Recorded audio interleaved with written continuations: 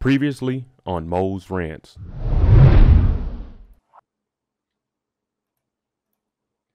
Kid Skills said five thousand doesn't seem like a lot when two people doing.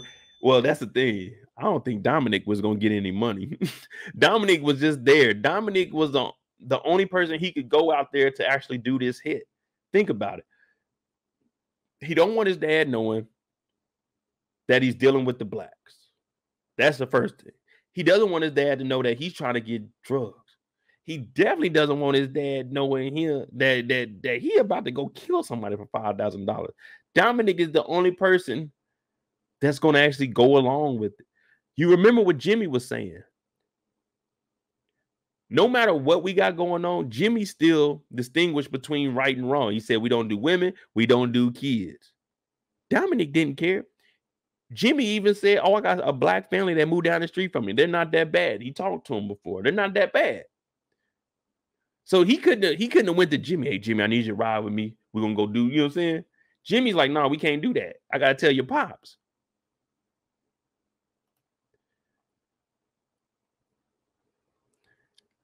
But hey man, that dope game is, is crazy. He really want that pack up off of Marvin. So he told Marvin, look, man, we can we can go get it done. Just, just holler at me. Holler at me.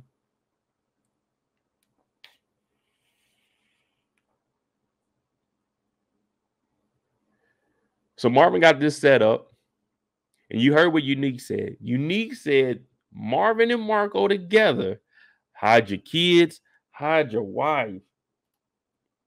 That that right there was a foreshadow. And we all knew exactly what was coming after that.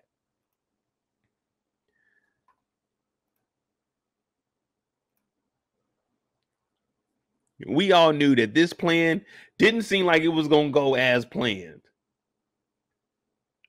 So right now, Unique is in Worrell, they're the only ones that know that they went over there. But the thing is, Worrell works for Unique, so he's not going to talk to the mob.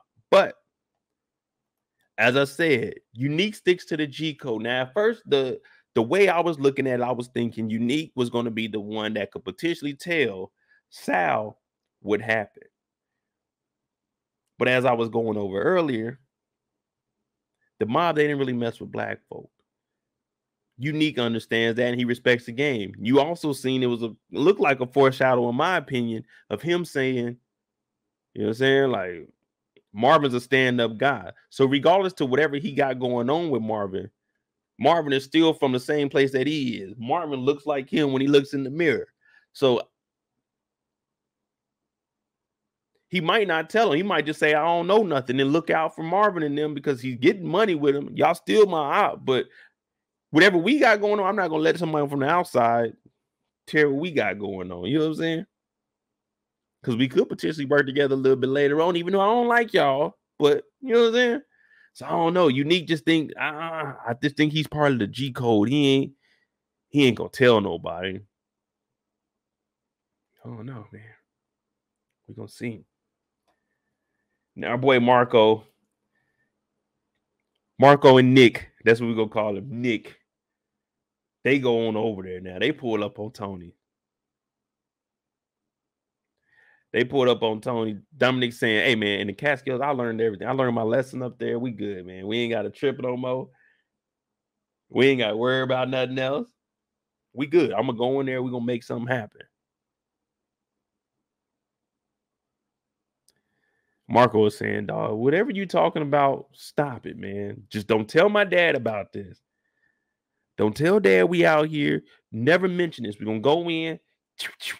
That's the silencer. We're gonna knock them off and we're gonna get on out of here. Now, whoever in here, we just gotta do what we gotta do.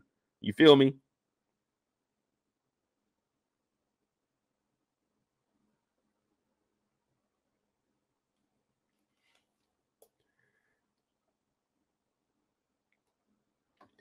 They get out front. Now you got to be prepared for this. Man. You can't just go in here. You got to get like you about to run 100 meter, you gotta get focused. You about to go in here, you gotta do something in and out. Five thousand dollars is on the line, people. Five thousand dollars is on the line. That's five comma three zero. That's what's on the line right here. Five bands. Five bands. What you gonna do? I'll tell you what we're gonna do.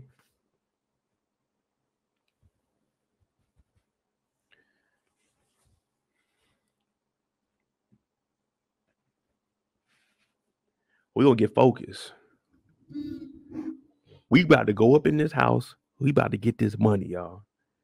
Five thousand dollars. You better believe it, man. We own this. yeah, we own this. That's what we about to do. We about to go up in this motherfucker right now. Don't you tell my daddy about this. Don't be telling him I know how to, you know what I'm saying? Make a play out here. We're gonna go in there, no talking, no witnesses. Five thousand dollars, y'all. Five thousand dollars is on the line. I'm thinking, all right, they about to go in here and fuck some shit up. Toni in here getting her freak on. You know Marvin when she was there. Toni in here also getting her sniff on. More what a night that is. Freak on the sniff on. It's all the same. Clap on, clap off. That white girl on that white girl. She ain't here toe up. Now, oh boy, he went to the bathroom. He said, Yeah. He went to that bathroom and said, Shit, let me hop up in the shower, man. Let me hop up in the shower. All you hear is boom. Niggas came in busting. I said, damn, they ain't playing around. Nicole got caught. Pink, pink, pink. She on the bed. Sleep time is over. Didn't stand a chance. Didn't even know what was happening. Just, oh, wee, I'm hot. Now you're high, now you're down. Old boy came out the bathroom in his robe, though. He heard that shooting, like, nigga, what? They busting him. Don't nobody bust in my house. I do the busting in my house. He came out, he tackled that nigga Marco. They going at it now. Like, ping, ping, ping. They fighting. They on the ground. They tussling. They they they they going at it. Cause right now your life is hey five thousand dollars is out there. You better you don't know how to fight. You better figure out how to fight right now. You grab something. The street fight, man. Hey, every your life is on the line. You do whatever you can. You grab whatever you want. Y'all outside fighting, y'all squaring up. It look like it's four or five of them. Okay, it's four or five of them. It look like it's gonna be a little jump in the night. Okay, grab that rock, hit a nigga in the head, ping, knock his ass out. They gonna think twice about jumping in before they do. Bow, you get them. You might take a L, but shit, at least you got one of them. But they didn't came in, they didn't kick through the door. They didn't expect to do no fighting. Let me tell you why they didn't expect to do no fighting. They came in leather jackets, they got polos on, you know they got some slacks. They got the slippery shoes on, you know what I'm saying? The hard bottoms. That's what they got on. They came in to do a little drill, kicked through the door, took out the coat. It was looking all sweet, but they like, yeah, man, we did that. Marco get tussling with goddamn, oh man, it's looking ugly right now. So he's like, Dominique, help, help, help, help all Dominique had to do was just walk over there and say, Hey, get off and put the gun to the back of his head or walk up to him and shoot him. He shot from the fucking door. I see my dog getting his ass whooped. I'm just, no, you don't do no shit like that, man. They over there, they rolling over. This is like a cartoon. They rolling over each other. It's like on the five heartbeats when they was up there, Duck and his brother. They rolling on the thing, people jumping over them. Like who fights like this where you just tussling and everybody, oh damn. You know what I'm saying? They in here fighting. Dominic talking about uh, which one do I shoot? Which one is the real one? Shot his damn man's. Oh my god. I'm looking at this and damn, this shit's fucked up now. Cause now we gotta try to get rid of everybody. So he just shot his boy. He's supposed to be a stone cold killer, right?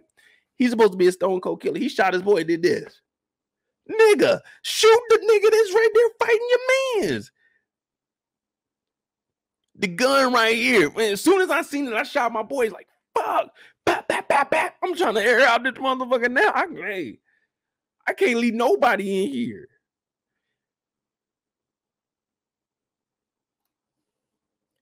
Dude, get up. He's talking about how you in the middle of a shootout. You don't shoot the guy you supposed to shoot. You shoot your boy. You t- Man, the fiance that rolled over on your ass, that nigga rolled over him. He acting like Soldier Boy. He wasn't doing no aiming. The first shot hit the side of the wall. Look at him. He's standing right here with the gun on him. He ain't even, man, what?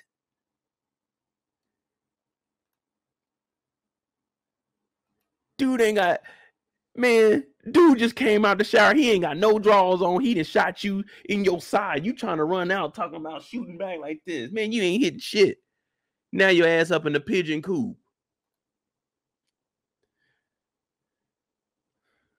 Damn, I'd have shot my boy.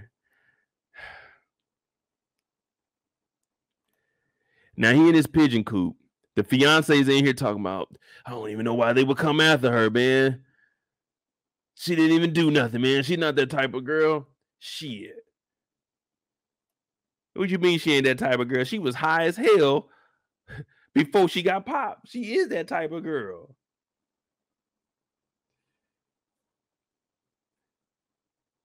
Cop talking about, all right, so what happened in there, man? Let me tell you, man. I just got done laying it down and I went to take a shower. I ain't gonna lie to you. I went and took a shower. I was like, shit, boy, I'm tired hell. Uh, I ain't really trying to go to work tomorrow. You just like, you watching that shit. You just thinking about stuff. You're like, fuck. yeah, I might grab something to eat before I go to sleep. Then all I heard, officer, was choo, choo, choo. Sir, what was that noise? Oh, that was some silences. Man, some dudes and kicked in the door. They done shot my girl in the bed, man. I just bought that bed set too, and it's all stained. But I tackled one of them. I'm talking about I was giving them that work, officer. Bow, bow, bow. I was catching them too. Man, it was two of them. So I was like, man, I know I got to try to kill this dude before they kill me. But as soon as I heard him say, shoot him, shoot him, I knew, let me turn this nigga on top, pause, and get him shot. And once he did that, man, you already know me, officer. You know what I'm saying? Like, I'm man, I'm handy with that steel. I ain't no geek off the street. I let off two. The first one was a warning shot to see if he ran, but see, he was so delayed. I went ahead and let that second one off. I think I, I know for sure I hit him in the side, man. Like, man, I don't miss two. I don't miss two in a row. That that that that, that just ain't what I do, you sir. You know what I'm saying? That ain't what I do. So the officer's like, all right, did you did you know any of them? Like, nah, man. There's one of them that's hey, one of them still laying next to the bed. I, I I know he there. I don't know who he is. So the cop is taking all this information in, and guess what? Now the law has Sal's son dead. Sal's son is dead. Dominic, he's in the pigeon coop. It looked like he survives. The only thing is, he can't tell Sal nothing. What's he gonna tell Sal? Yeah, me and your son, we went out there to go kill some people and he died. No, nah, man.